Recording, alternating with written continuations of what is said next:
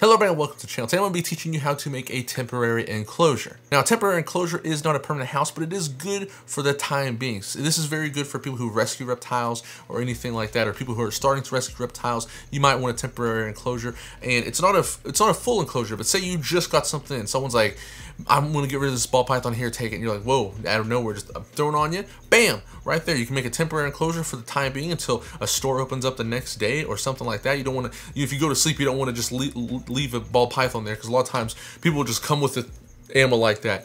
Um, they don't usually, people don't usually like to give away the enclosure. They'll give away the animal, but go sell the enclosure. So in that case, if an appropriate size enclosure is sold out, or you just can't find one for the time being, or maybe it's coming in a couple days because it's shipping, this is a perfect solution. I like to use plastic storage tubs like this. They have a locking lid. This is actually an enclosure I use for my roaches. You can also just use these as roach enclosures or insect enclosures or isopod enclosures. So not only as a temporary enclosure, but as an actual enclosure for insects. But I like to use stuff like this. Also, you can get like huge totes, like this 55 gallon tough tote is only $40 on sale at Home Depot. They have clear ones as well. I just took a picture of this one because it was right in front of me. They have clear ones. I always get clear for my animals. For this today's video, I'm going to be using this one right here. This is a 27 gallon enclosure or plastic tote, forgive me, it's a little storage bin. But I like to get these right here, and as you can tell, I'm drilling holes, and this is how we're gonna start off. You're gonna get the lid. Now, you don't need a drill for this. There's another method. You could just heat up a knife and just poke holes that way. If you don't have a drill, I have a drill. If you use a drill, do it very slowly and carefully. You can crack the lids, they're very cheap, so be very careful about that. Now, depending on what type of lizard you have, that's really depends on if you want, you're gonna cut the entire top off or you're gonna go ahead and just drill holes like I am right now. I'm gonna be drilling air holes in the top of this to show you, like say if you had something that needs a lot of humidity, like a crested gecko or a ball python or something like that, you could drill a bunch of air holes in the top and you don't have to cut out the top, but you will have to drill air holes on the side as well.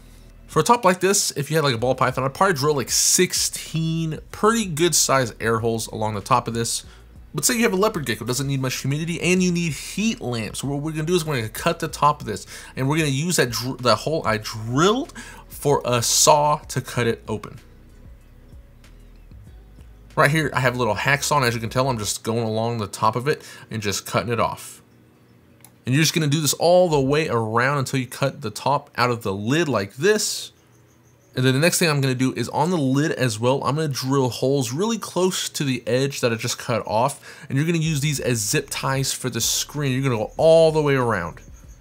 Then I like to drill in more air holes on the side just under where the lid goes. As you can see right here, I'm just drilling them maybe like two inches apart all around the sides.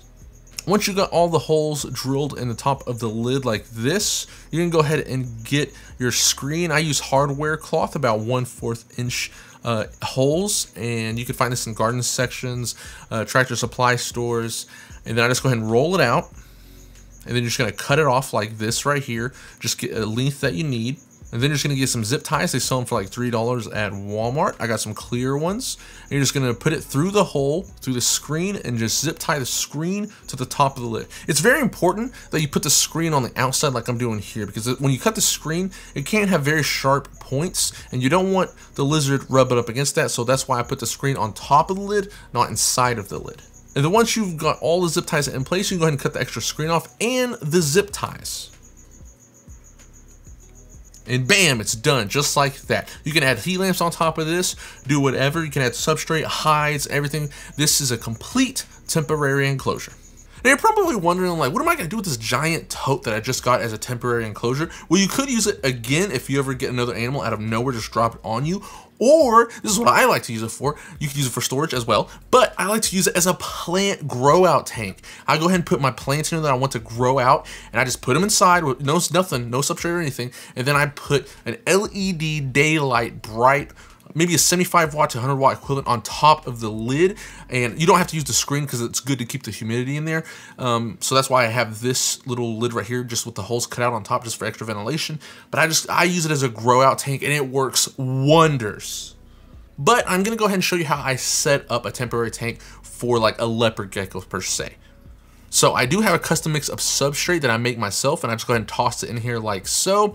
Spread it around, get it evened out. Then I go ahead and add some rocks where the heat lamp is going to be because leopard geckos love it when the heat hits that area. And then you can't forget the hides. I added some cork bark hides. And then we're gonna add a water bowl and a mealworm bowl. Last but not least, throw some lights on there. I got a heat lamp, UVB, and LED daylight to brighten the cage up. There you go. And this is how I would set up my temporary tank. Anyways, that's all I have for you today. I hope this is helpful in some way. If you have any questions, comment down below. If you enjoyed the video, like and subscribe. I'll see you next time.